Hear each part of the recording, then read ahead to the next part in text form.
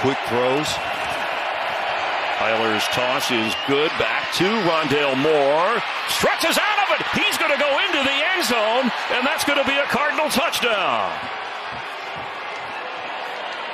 Well, he's just going to come inside. You're going to run off and just come inside right here, sit down in that zone coverage soft, and then, you know, Kendrick, you got to you're going for the ball right there. You're trying to create the the fumble. You got to go make a tackle right here. Look at him punch at the ball, but he doesn't wrap up the player.